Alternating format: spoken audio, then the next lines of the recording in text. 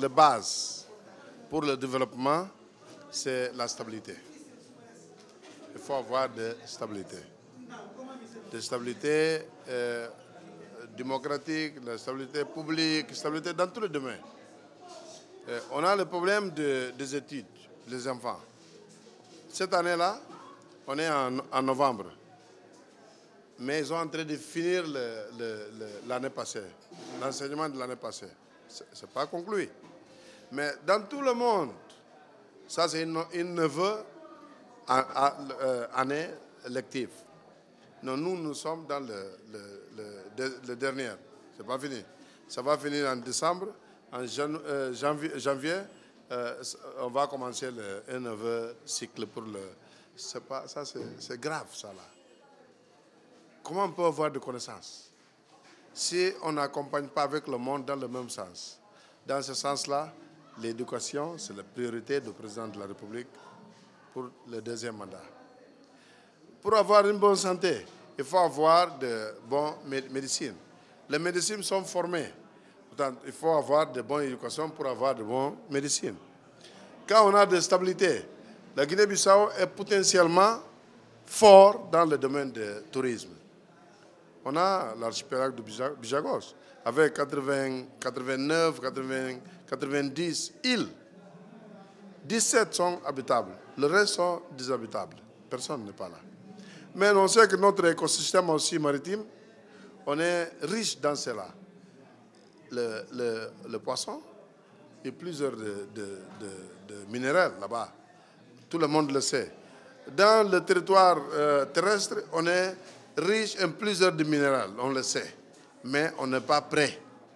Pour préparer le, le, le champ pour ça, il faut avoir l'éducation à fonctionner. C'est pour ça qu'on a dit que l'éducation, c'est prioritaire pour cette deuxième mandat. À part de ça, euh, l'agriculture. Notre leader immortel, Amika Cabral, l'avait dit.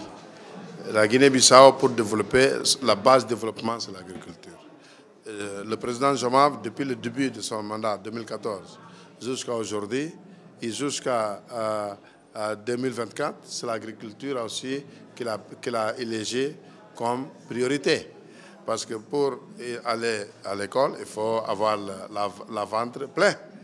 Et on a les conditions naturelles pour, euh, euh, pour faire l'agriculture. Le territoire, le, euh, la terre, qui est, on dit la terre qui est propre pour là. Et on croit qu'on a de, beaucoup de conditions, mais il faut aussi travailler sur euh, euh, l'assainissement public. Il faut amener l'eau potable euh, jusqu'à où il est possible de faire. Parce que la population maintenant ne peut pas boire l'eau l'eau. Hein. Il, faut, il, faut, faut avoir de l'eau potable. Mais il faut qu'il y ait aussi des infrastructures. Une infrastructure non seulement une infrastructure rodoviaire, en commençant pour ça. Parce que sinon, tout qu'on cultive là, on ne peut pas l'amener euh, au centre public, on ne peut pas l'exporter. Il y a plusieurs de, de, priorités, mais l'éducation, c'est la stabilité et l'éducation, c'est l'essentiel. Le, président Jomav a beaucoup travaillé dans ces cinq ans. Il a travaillé près, près, à côté de la population rurale. La population rurale est majoritaire la population qui, fait la culture et l'élevage est majoritaire.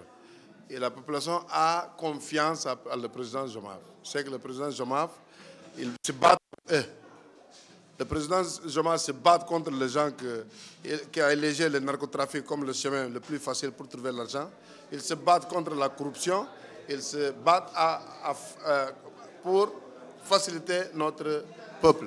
C'est ça, dans ce sens-là, qu'on est confiant que les peuples avec qui le président se, bat pour le, favoriser va voter le président Jean-Marc.